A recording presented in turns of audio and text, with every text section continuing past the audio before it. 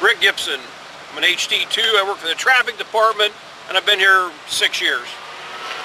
Ted Corey, I work for the traffic department, been here nine and a half years. Today we're setting up a detour to close State Route 81 in preparation for the railroad to fix a crossing. The difference between setting up for another contractor other than ourselves is the pre-planning that goes into it. Uh, we've already made, set up the advance signing from every direction, letting traffic know which way they're being rerouted to get them back on course with the minimal amount of disruption in the traffic flow. So that's basically our, that's what we're trying to accomplish. Most of the time it works, sometimes it doesn't. Uh, it depends on what, how the traffic perceives about what we're doing and if they pay attention to the signs. If they follow the signs, they'll be in good shape.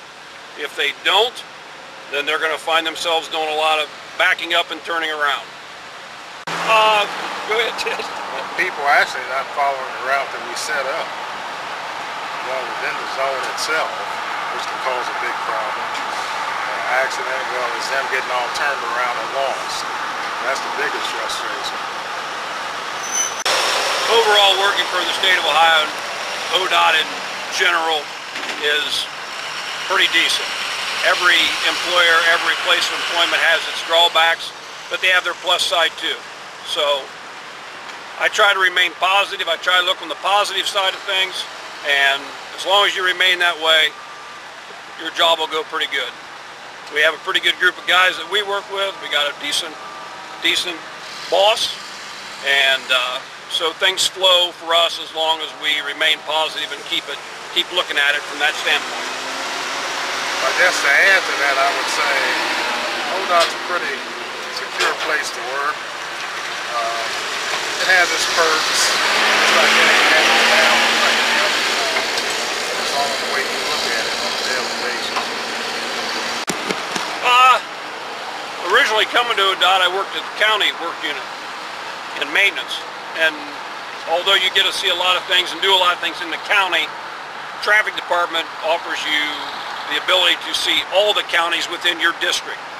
So now I'm, I'm working in eight different counties and depending on what's going on every day, that's a, that's a plus for me. You get to move around more, you get to meet more people that work for the state, and you're involved in more things.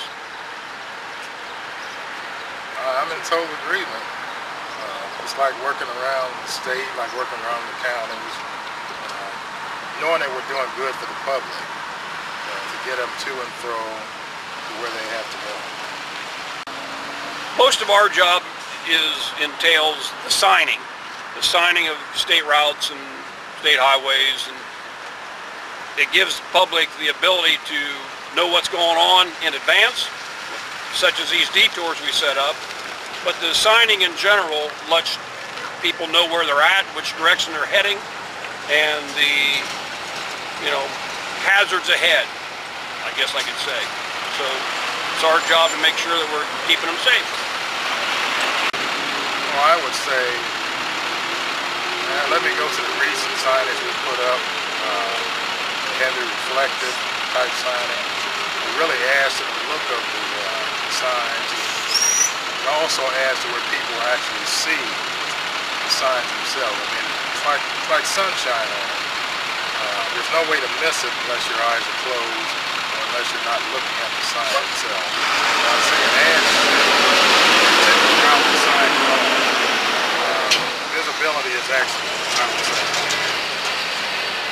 I guess I could just add to that is, from our boss's perspective, you know, if we see something broke, fix it. It's not something we just drive by and look at. If we see a sign down that represents something that we're trying to accomplish, then we need to fix it. You know, fix it before somebody has a complaint about it.